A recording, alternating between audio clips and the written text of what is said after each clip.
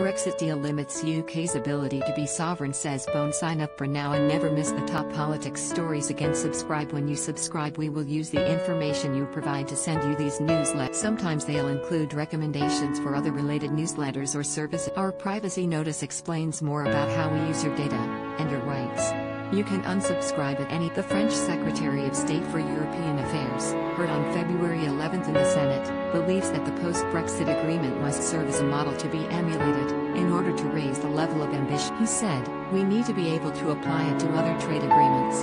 With Franck Riester, Foreign Trade, and Julien Denormandie, Agriculture and Food, in the negotiation of trade agreement. I intend to use it. It must be the condition for the acceptability agreements. Mr. Beaune underlined the agreement signed with the British guaranteed a certain number of unique rules in order to ensure fair competition and to verify compliance with European environmental, agricultural and industrial standards or Doug Macron's mini-me by Brexiteers in the UK. Mr. Beaune has been a staunch critic of Britain's decision to leave the bloc. The French president's right hand has delivered a series of scathing attacks on the UK since Brexit finally became a reality in January. A former Tory minister has described the 39-year-old as the French president's mini-me and claims he has an agenda. They told Politico, he appears to be Macron's mini-me and looks as if he is trying to make a bit of a reputation for himself by being beastly to the Brits. Trending to be honest, he hasn't made much impact on this. Mr. Beaune publicly branded Brexit a bad thing for the UK and outlined plans to abolish the English language being spoken in the bloc. He said,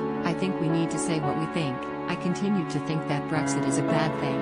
It's a personal and political opinion.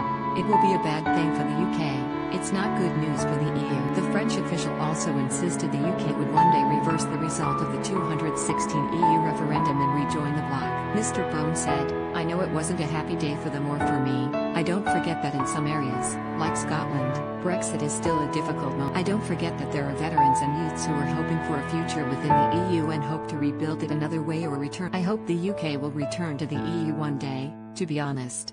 The French politician has also been a strong defender of the European framework, insisting the current difficulties faced by the bloc lie in industrial production and resorting to national procedures would not be a solution to the problems. He tweeted, Vaccines, I firmly believe in this European framework, not out of ideology, but because today the difficulties lie in industrial production. Resorting to national procedures would not solve the problem.